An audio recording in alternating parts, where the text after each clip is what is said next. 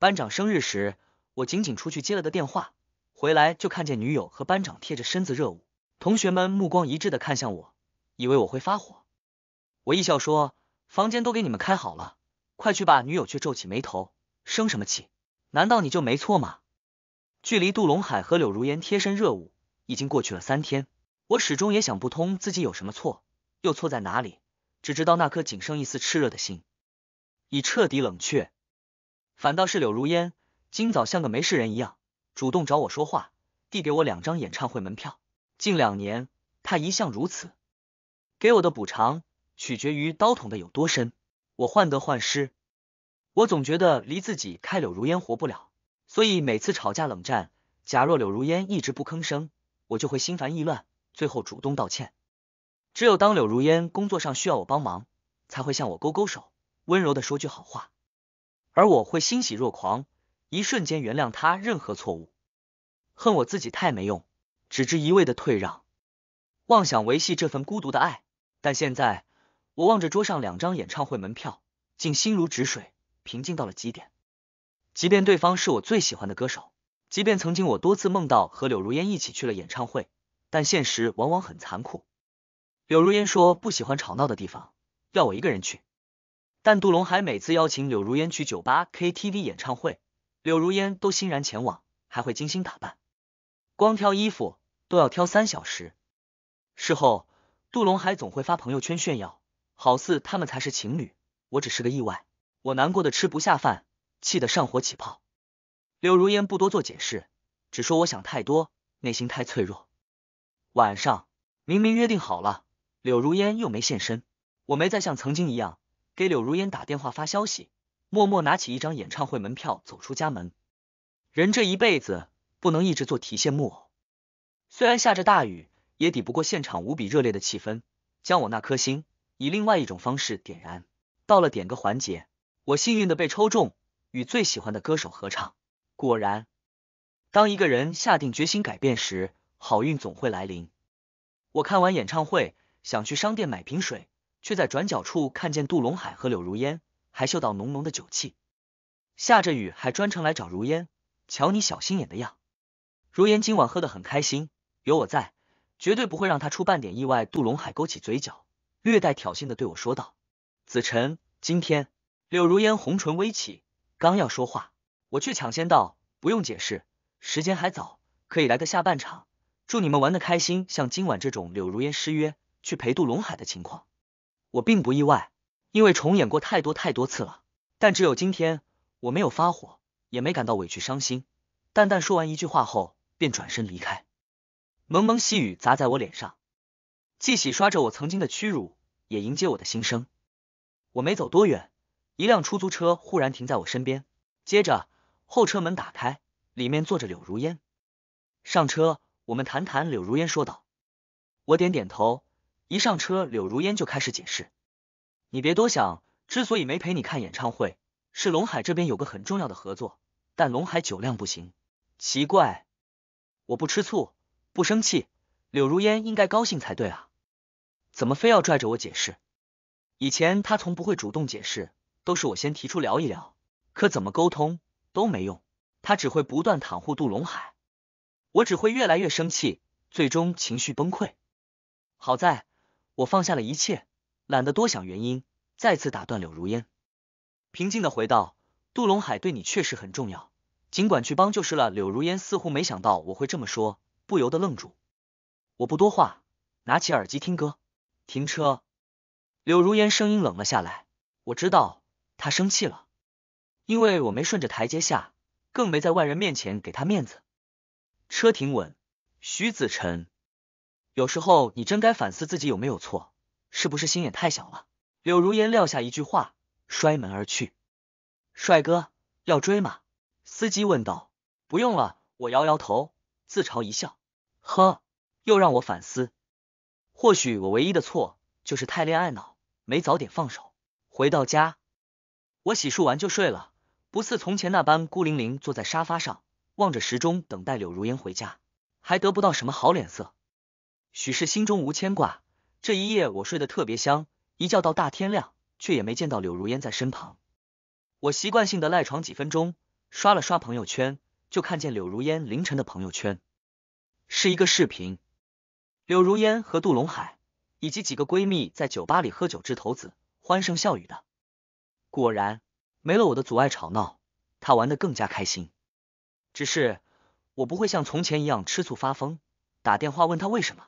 现在我非但不嫉妒了，还故意给柳如烟这条朋友圈点了个赞，然后起床去上班。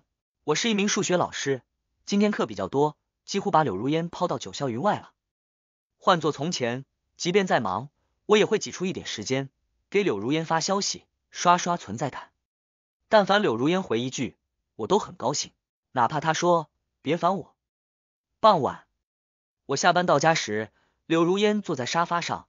十分刻意的欣赏着无名指戴着的戒指，龙海送我的戒指真好看，他嘴里念叨着，无非又想吸引我的注意力，但我直接无视，径直往书房去，打算写一份调动工作的申请。徐子辰，柳如烟急了，三步并两步的拦住我，举起戒指，蹙眉问道：“你没看见我的戒指吗？”看见了，我点点头，回道：“那你没听到我说是龙海送的？”柳如烟追问道。我微微一愣。从他手中拿过戒指，你要干嘛？别乱来，不能扔，我可喜欢这枚戒指了。柳如烟挑挑柳眉，立刻又摆出了高傲的姿态，一如从前，喜欢玩弄我的情绪。戒指很好看，你好好戴着，别弄丢了。我说着话，就把戒指戴在柳如烟的无名指上，然后平静的走进书房。其实我进门第一眼就认出戒指是杜龙海的，因为杜龙海发过朋友圈，说是国外定制。价值数十万，其实地摊两块五，一看就是塑料。除此之外，杜龙海一身行头，许多都是假的，送给柳如烟的礼物也多为以次充好。我提醒过柳如烟，她不信。我本以为是柳如烟天真单纯，直到一次杜龙海送给柳如烟一块玉佩，价值五十万，结果鉴定是假货，最多价值五十块。我兴奋的拿着鉴定报告给柳如烟看。可他瞥一眼就扔进垃圾桶，笃定的说：“假的又怎么样？我喜欢就行。”那一刻，我才明白，为什么我送的钻戒，柳如烟随意给了闺蜜；为什么杜龙海送的破烂，柳如烟当成宝。原来真假并不重要，原来只是爱屋及乌。也因如此，那时我心中无比恐慌，害怕柳如烟离我而去，重新投奔杜龙海这个初恋怀中，所以变得更卑微。是我太傻，是我太天真，但现在不一样了。我写完申请表，从书房出来时，柳如烟早已没了踪影。显然，我一而再的拒绝他给的台阶，他更加生气了。可这和我有什么关系呢？我不在意了，我不会再像以前那样四处寻找他，然后他在街头双臂抱胸，冷冷的俯瞰我，听着我一句又一句对不起。如今，我只会像昨晚一样过好自己。更何况，我已经打算离开这座城市，去做一些有意义的事，像我的父母一样，去偏远山区支教。从小我就佩服父母，梦想着要当一名老师，为更多孩子提供学习知识的机会。后来我成了老师，却也坠入爱河，为了柳如烟，拴住了自己的腿脚，每天的心思都在柳如烟身上，想着给她做什么饭菜，想着怎么讨她开心，想着给她买什么礼物。想着帮他优化教案，甚至替他去培训机构上课。总之，一切的一切都围着柳如烟转。浪费如此多精力，换来了什么？柳如烟的忽冷忽热，杜龙海的挑衅炫耀，我的情绪崩溃，常常无心上课，抑郁不振。而今，终于可以沉淀自己了。我拨通了父亲的电话，说了自己的想法。孩子，山区条件很苦，不似城市繁华。你想好了吗？父亲问道：“我想好了，您和我妈都能坚持，我一定也行。”我笑着回道：“世俗纷乱，欲望总迷人眼。山区郁郁葱葱，充满了向上的生机，是大自然最好的良药，丰富我的精神世界。更何况身体再苦，能有天天遭受精神折磨苦吗？”至于父亲为什么不提及柳如烟，因为柳如烟一直不让我跟家里说，连续好几天，我和柳如烟都没有说过话。我再没有起早给他做饭，也没有晚上伺候他洗脚，不必因他忧心，过得那叫一个轻松。学生们都说我气色好了很多。这天早晨，又是柳如烟摔门而去。我仍然没理会，但刚到学校就接到柳如烟闺蜜打来的电话。姓徐的，你还是不是男人？居然这么欺负小烟，不爱了就直说，搞什么冷暴力？你有这个资格吗？闺蜜气势汹汹，劈头盖脸的一阵问罪。难道杜龙海生日那天，我的意思不够明显吗？我反问过后就挂断电话，并静音，整理一下资料，去见教育局的领导商量支教事宜。回想柳如烟闺蜜的话，我只觉可笑。怎么，我连冷淡的资格都没有，只能热脸去贴冷屁股？局里领导对我很欣赏，跟我说了很多，告诉我去哪支教。当地风土人情，学生有多少，条件怎么样，国家给多少补贴，足足聊了三个小时才结束。在我添加领导微信，方便联系时，陡然发现同学群里发起了一项实名投票。假设柳如烟单身，你愿不愿意追她？发起者是柳如烟的闺蜜杜龙海，直接表态：如果给我个机会，我愿意守护如烟终生。其他同学也纷纷起哄，纷纷艾特我和柳如烟。柳如烟没有露头，我知道她在默默窥屏，因为以前也有类似的事情发生。在我气得跳脚，要大家别开这种玩笑时，柳如烟才露面说一句：“开个玩笑而已，有什么好生气的？那么当真干嘛？你要好好反思自己。”然后柳如烟还会打电话骂我一顿，我会跟她争吵。在之后，闺蜜同学齐齐劝架，久而久之，我竟成了班里心胸最狭隘的人。这次。我没有在群里说话，只是与众同学背向而行，投了不愿意一票。瞬间，群里炸开了锅。我靠，徐子晨竟然选了不愿意，他是闹脾气还是认真的啊？消息刷屏，我懒得多看，打算去办公室收拾东西回家，过两天去支教。就在我要把手机放进兜里时，柳如烟打来了电话，果然要打电话骂我了。但接听后。柳如烟不似之前那般怒气冲冲，反而语气温柔。子晨，今晚一起去唱歌吧。不了，我直白的拒绝道。换做以前，甭说柳如烟邀请我去唱歌了，哪怕说跟我去散个步，我都能高兴的蹦起来，总比眼巴巴看着柳如烟和杜龙海一起出去玩、一起互动的要好。而现在，我没兴趣了，一切都随风去吧。你听我说，今天唱歌是家长们提出的，他们要我一定把你带上。要当面感谢你，柳如烟似是有些急，语气也快了许多。那好吧，我这才答应。之前暑假，柳如烟工作的培训机构缺少一位数学老师，于是叫我去代课，但不给我一分钱。我尽心尽责。开学考试摸底时，那些孩子成绩都提升了一大截，很多家长都给我打电话道谢，说有机会一起聚一聚。如今正好趁这个机会告个别。柳如烟的闺蜜。不是指责我不说清楚吗？那么今晚彻底挑明。晚上，我提前十多分钟，刚到 KTV 包间门口，就听到了熟悉的歌声。推开门一瞧，只见杜龙海正在与柳如烟对唱，唱的那么深情，笑的那么幸福，看起来他们才是一对儿，我反倒像个不速之客。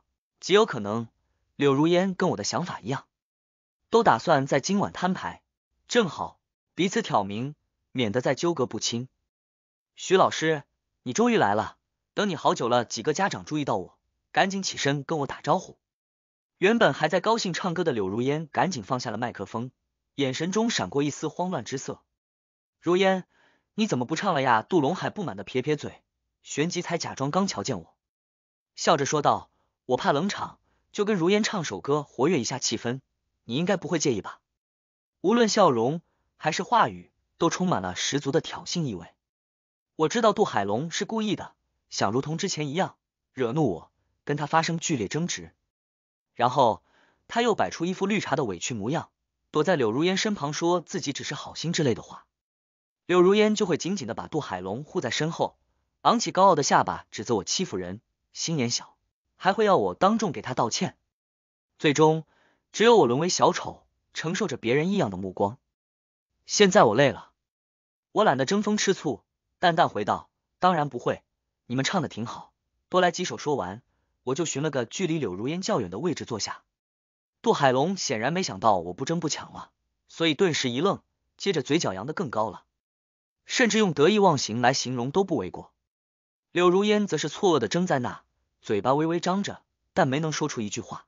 家长们看看我，又看看柳如烟，神色都有些尴尬。好在几个服务员端着果盘进来，打破了沉默的气氛。来，徐老师，吃点水果。一名家长把果盘递到我面前，顺势问道：“你和刘老师是不是吵架了？夫妻床头吵架床尾和，哪有隔夜仇啊？”其余家长点头，都想做和事佬。杜海龙见此，按捺不住的数落我说道：“徐子晨，你一个大男人，也真够小气的。不就是如烟没陪你去看演唱会吗？瞧把你委屈的。”都跟如烟冷战好几天了，像如烟这么漂亮的女朋友，别人做梦都想要，你反而不珍惜，该反思反思了。话里话外尽是阴阳怪气，特别是最后一句反思反思，像是帮柳如烟说的一样，多大点事啊，下次再去呗。两个人相处要互相多包容包容，没错没错，大家都是这么经历过来的。家长们连忙劝导子晨，下周我陪你去外地看演唱会。柳如烟终于开口说话了，但和外人一样。压根没有意识到问题的重点，没空我回道，气氛再次尬住，安静的掉落一根针，都能听到响声。我低头吃着水果，不顾柳如烟及旁人的目光。情侣相处之间争吵是难免的，不包容磨合，怎么走到白头偕老？可这份包容应是相互的，而非单方面的，应有底线，而非一味退让。在两年之前，我从未对柳如烟大声说过话。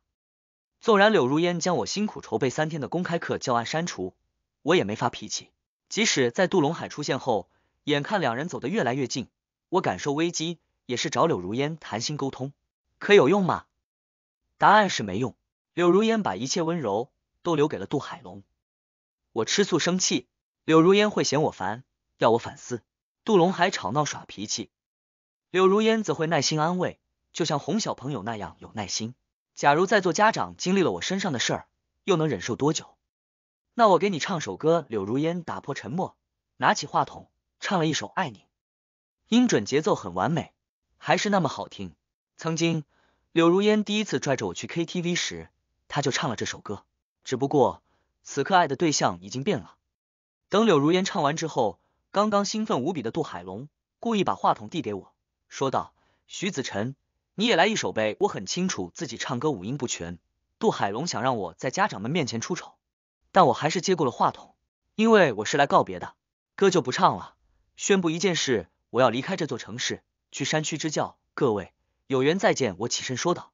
包间里又一次陷入了长久的安静。柳如烟美眸圆睁，呆呆的看着我，表情肉眼可见震惊。奇怪，我走了，他们不就可以光明正大在一起了吗？柳如烟为什么震惊呢？是被我抢先提分离，没能再次践踏我的自尊，所以感到失望吗？旋即，包间里爆发雷鸣般的掌声，家长们齐齐给我鼓掌，然后对我一通夸赞。我也没再多待，跟家长们聊几句，就以收拾行李的借口先走了。但我刚到楼下，柳如烟就追来了。刚刚你说的都是气话，对吗？柳如烟粉拳紧攥，盯着我问道。不是我摇摇头，那为什么没提前跟我说，非要在这种场合宣布？你一定是故意气我，对不对？柳如烟蹙起眉头，追问道：“我的事和你有关吗？”我淡淡反问。柳如烟一愣，似是想到了什么，脸色略微不太好看。其实那句话是柳如烟以前跟我说过的，因为柳如烟经常喝酒，疯到深夜，所以我担心柳如烟安全，让她少喝点，别玩太晚。早点回家。他冷着脸甩出一句：“我的事和你有关吗？”我气得不行。我们吵了一夜。然而柳如烟依旧我行我素，还跟杜海龙半夜骑摩托飙车。大概我只是一个教书的，给不了他这种刺激吧。如烟，你干嘛呢？咋能把家长撂在那？快跟我回去！杜龙海追到楼下，一把抓住柳如烟的手，但下一秒就被甩开。我有点头疼，先和子晨回家。等等，我会在家长群里解释清楚。你也回家吧。”柳如烟说道。“真的吗？你该不会骗我吧？”杜海龙一听，立马撅撅嘴，露出委屈巴巴的表情。“要是你骗我，那我会很伤心的。”瞧这茶里茶气的模样，我都看腻了。但偏偏对柳如烟极其奏效。每次杜海龙这么做，柳如烟都心疼的不行，听从杜海龙的安排。如果换做我，那又是另一种结果。柳如烟会指着鼻子骂我矫情，然后我自己回家待着。曾经我对人难以忘怀初恋这一说法嗤之以鼻，但现在我深信不疑。杜海龙宛如那轮高悬天际的弯弯明月，静静的悬挂在那里，深深的埋藏在柳如烟的心底深处。而我不过是一只侥幸沐浴过雨露的蝉，即便竭尽全力的歌唱，也无法令他心动。无论我怎样努力，都无法与那轮明月相媲美。然而令我意外的是，柳如烟竟板起脸，数落起杜海龙道：“海龙，别在这瞎闹，我真要回去休息一下，改天再一起玩吧。”好吧，周世成悠悠的叹了一口气，失落的垂头丧气，似乎想引起柳如烟同情。奇怪的是，柳如烟拽着我扭头就走，等上车后就对我说：“今晚我没叫杜海龙来，恰好在 KTV 碰见了，恰好，那可真是太巧了。不过这都跟我没关系了。”我点了点头，就戴上耳机听歌。柳如烟没有像上次那样摔门离去，而是默默开车。时不时的通过后视镜偷瞄我，倒是令我有些不自在。以前柳如烟压根不会注意我，偶尔我聊一聊学校的趣事，他还嫌我烦。特别是杜龙海在车里时，直接把我当空气。今晚倒是很奇怪，但这疑惑在我脑海中只持续了几秒，就烟消云散。算了，想那么多干嘛？还是听歌吧。到家后，我径直去了书房，打算把书分好类，然后邮寄到支教的地方。但还没忙活一阵儿，柳如烟就端着一杯咖啡走了进来，笑着说道：“刚回家就一头钻进书房，是不是要准备教爱啊？我给你冲了一杯咖啡提神。对了，里面没加糖，只兑了牛奶与其似春风拂过。”我诧异的抬起头，才发现柳如烟那目光也温柔似水，多么令人怀念啊！曾经这样柔情似水的眼睛，是我心中最美的星星。可我上次看见是在什么时候，已经记不清了。同样也不重要了，谢谢。我简单回一句，便继续低头整理书籍。你怎么突然想起来收拾书了？难道真要去支教？柳如烟语气有些颤抖。嗯，后天出发。我没抬头，柳如烟也没再说话。过了好一会儿，我才听到渐渐远去的脚步声。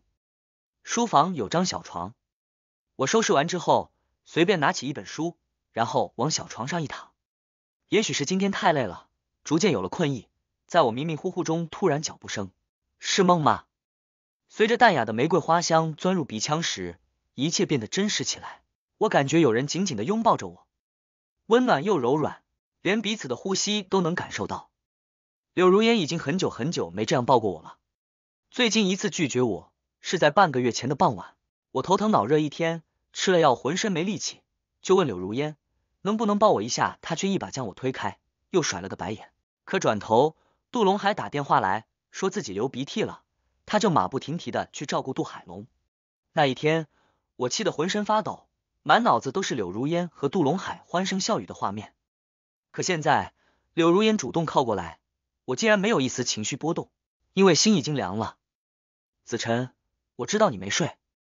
柳如烟在我耳边呼着热气道。我微微皱眉，爬了起来，冷淡的望着柳如烟说道。能不能别打扰我休息？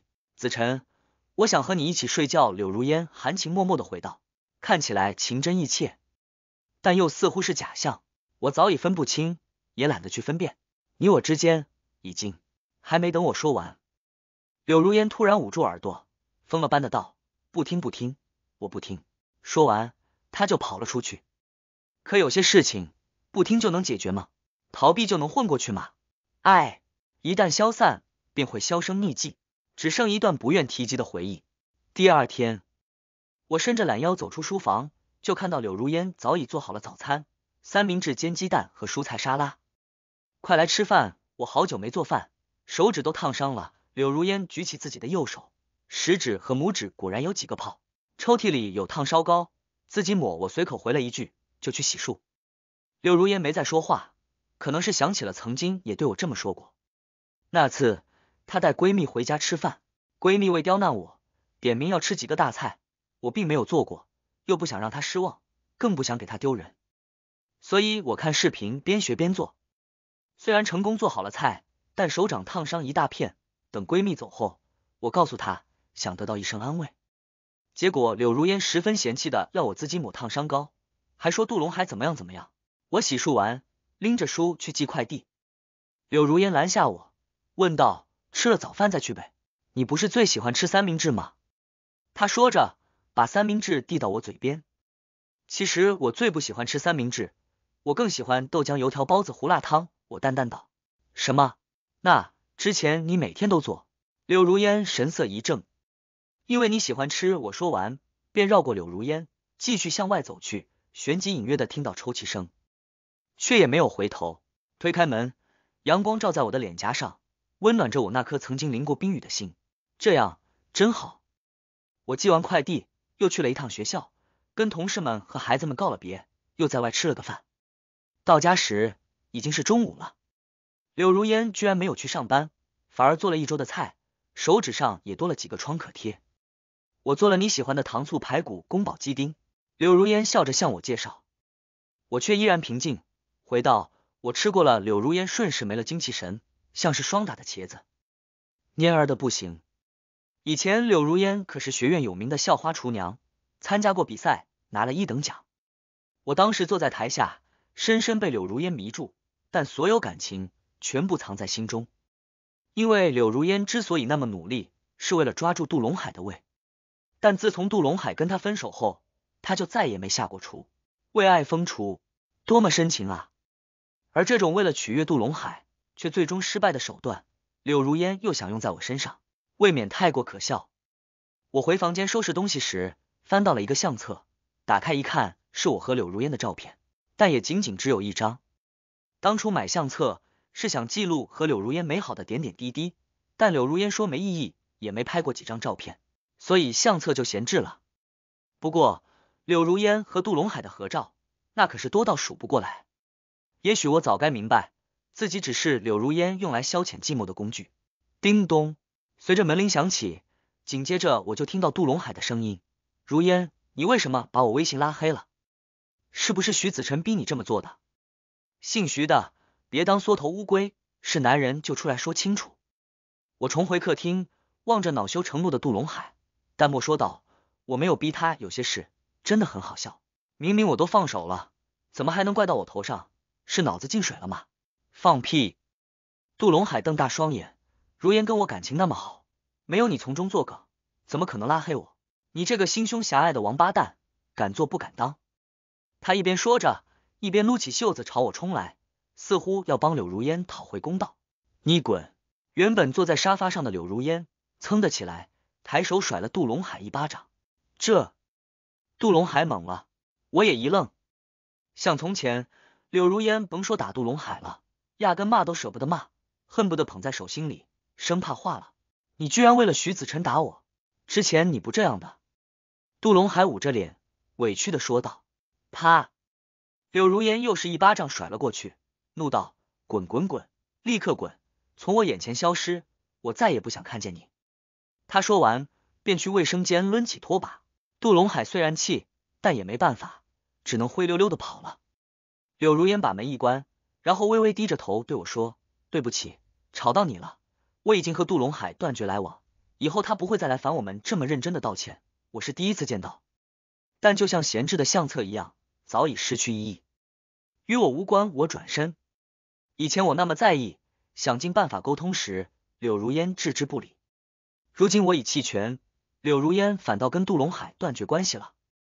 人啊，有时候确实挺贱的，吃着碗里，却又看着锅里，握在手中的不知珍惜，非要拿些别的，最终只能一场空。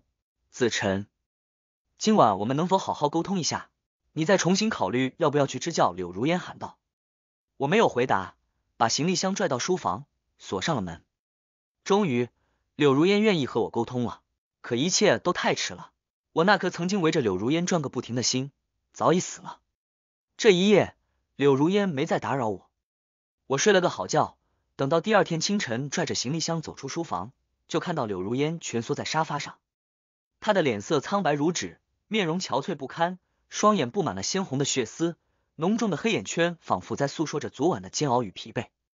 我丢下钥匙往外走去，柳如烟突然像发了疯一样，手脚并用，紧紧的抱住我的右腿，泪水如决堤般涌出，含糊不清的哭喊道：“子晨，求求你不要走，不要离开我！我现在终于明白了，我真正爱的人一直都是你啊！”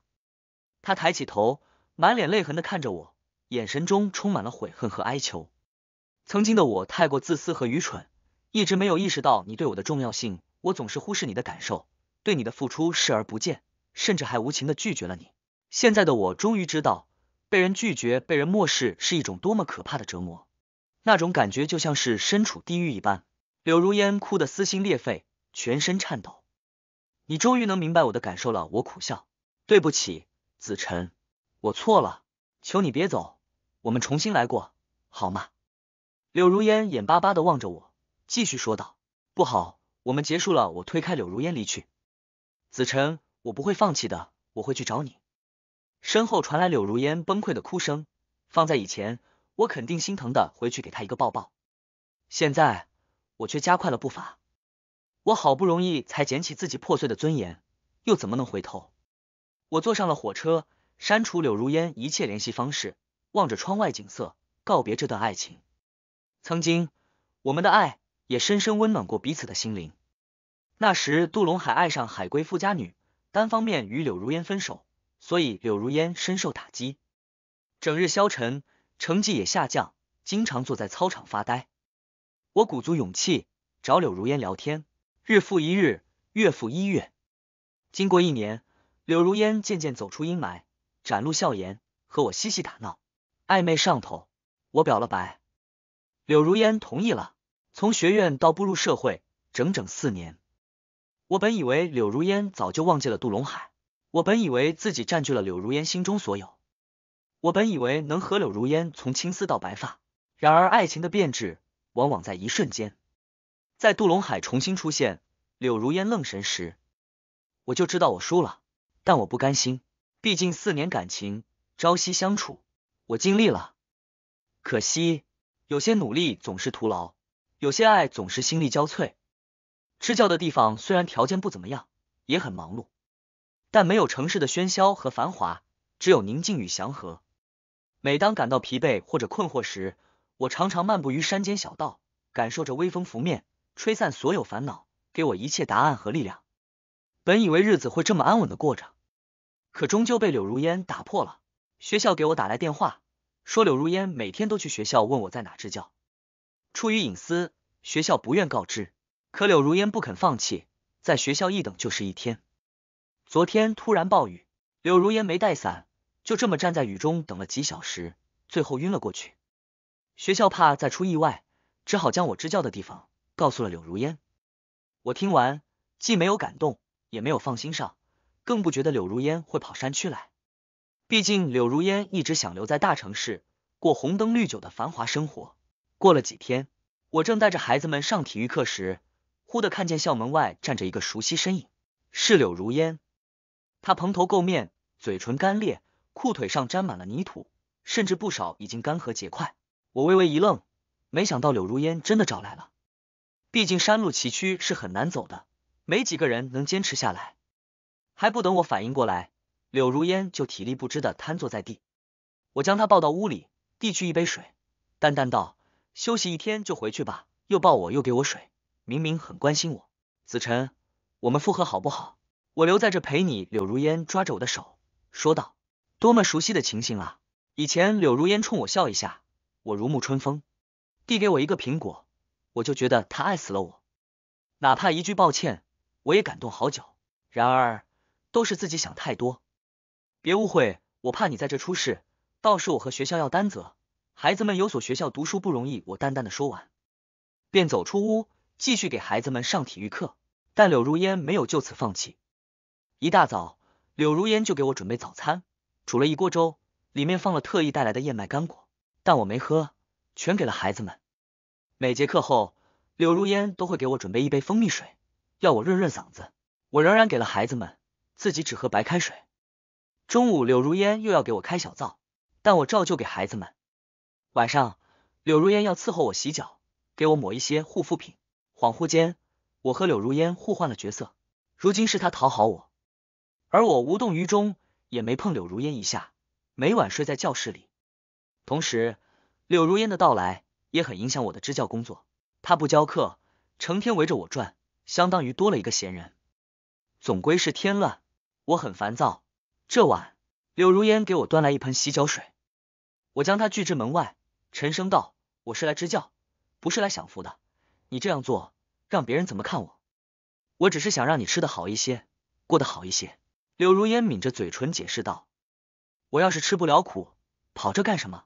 你走吧，这里不适合你。”我声音大了许多，原本平静的心，这一刻终是被惹出了怒火。我不走，我就要赖在这，等你原谅我为止。柳如烟跪了下来，泪水如断线珍珠般不断滑落。你不值得我原谅，我冷冷一句，便关上了门。子晨，门外传来柳如烟带着哭腔的呼喊声，但我充耳不闻。求你开开门好吗？我知道以前的我太过自私自利，我会做出改变，我都听你的。柳如烟继续苦苦哀求道，声音中充满了懊悔。然而，不爱了就是不爱了，这些话语并不能打动我已经破碎不堪的心。过了几小时，门外才没了动静。我以为柳如烟放弃了，明天会离开，但没想到柳如烟在外守了一夜，最终病倒。我赶紧找人帮忙，送柳如烟去外面治病。临走前，柳如烟眼巴巴的问我：“你不陪我一起吗？”我摇摇头，不愿再陷入与柳如烟的纠葛中。那一秒，柳如烟神色暗淡无光。我没说一句安慰的话。既然分手，那就彻底。一个月里，再也没有柳如烟的消息，我也没有打听。后来，原学校的同事给我打电话，说柳如烟给我留了一封信，让学校帮忙邮寄。我纳闷柳如烟为何不自己邮寄时。同事告诉我，柳如烟正在服刑。原来杜海龙和柳如烟的闺蜜搞在了一起，两个人还特意去找柳如烟炫耀。尤其是杜龙海，不仅嘲讽柳如烟是个玩物，还要柳如烟好好反思自己的错误。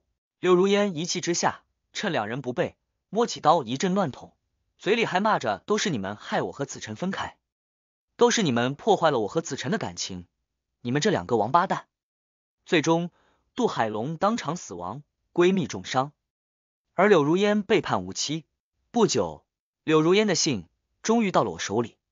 子晨，当你看到这封信时，我已经在狱中了。我不怨任何人，也没有资格埋怨，一切都是我的咎由自取。我弄丢了你，也弄丢了整个人生。对不起，跟我在一起那么久，委屈你了。对不起，我还爱你。全文完。